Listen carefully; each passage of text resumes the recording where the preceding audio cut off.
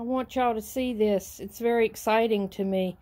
This orange tree is loaded with new blooms. These things just started popping out. I mean, loaded. It might be hundreds. Now, in my experience with this tree, which I've had, um, I can only guess four or five years now, this might be the most uh, blossoms that's ever come out on it, but generally more than half fall off because it always does this in the dead of winter. And while the greenhouse is heated, it's only heated enough to keep it in the 50s. And they still get cold. A lot of these blossoms will fall off. But with this many, because I normally don't have this many, all these little white things are blossoms for new oranges.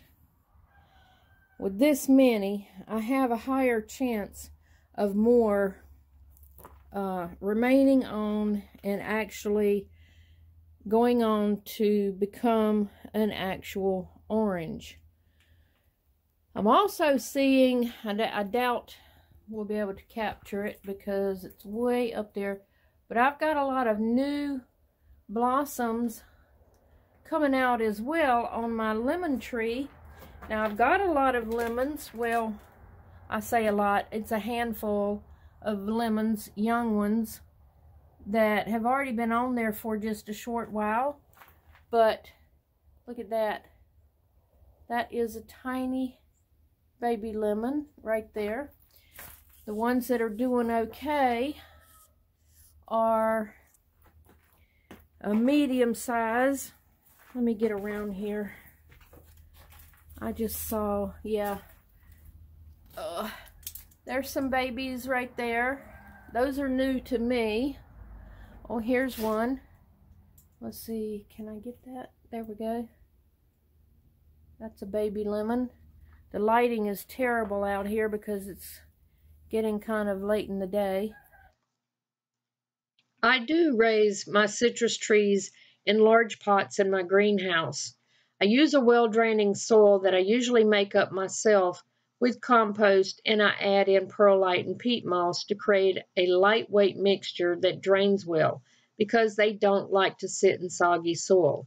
I only water the soil when it's completely dry. There's many choices of soil on the market that is specific for citrus trees, which is usually a cactus type mixture. They are prone to aphids and spider mites and have to be treated accordingly with an appropriate insecticide spray. They also occasionally get a black powder mold on the leaves, but that can be rinsed off with a good burst of water from the hose. It's usually not harmful to the tree or the leaves. They like an occasional misting also during the summer months. I have listed below in the description some links from Amazon for the fertilizer choices that I use to feed my trees. In my zone 8B, they produce blooms and then fruit year-round in the greenhouse. They also do well inside the home as long as they have bright, strong sunlight and aren't allowed to dry out too much. Too much drying will cause the leaves to drop. I used to keep mine in my house, but they got too big. They can be pruned to be smaller, shorter trees and maintain them inside, but they don't like temperatures below 50 degrees. They do much better in the heat of the summer. That's it for this video. I hope you enjoyed it. If you did, give it a thumbs up and hit the like button.